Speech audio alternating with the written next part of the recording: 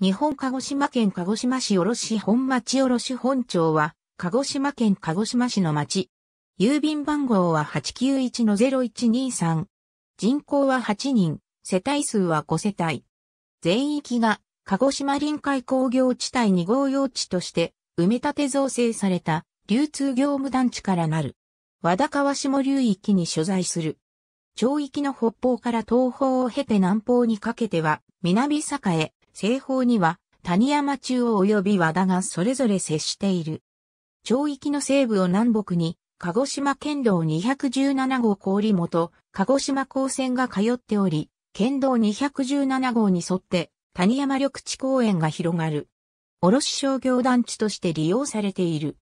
現在の卸本町付近は和田干拓地と呼ばれる干拓地であったが、1967年から1971年にかけて鹿児島開発事業団によって鹿児島臨海工業地帯の2号用地として埋め立てられた。また、一部は谷山塩谷町及び和田町の各一部であった。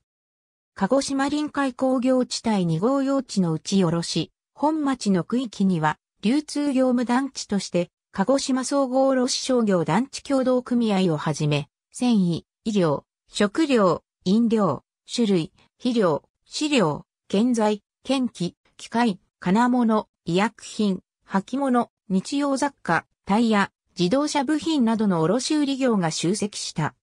1971年に交友水面埋め立て地、及び谷山塩谷町、和田町の各一部より、鹿児島市の町、卸本町として設置された。以下の表は、国勢調査による小地域集計が開始された1995年以降の人口の推移である。私立小中学校に通う場合、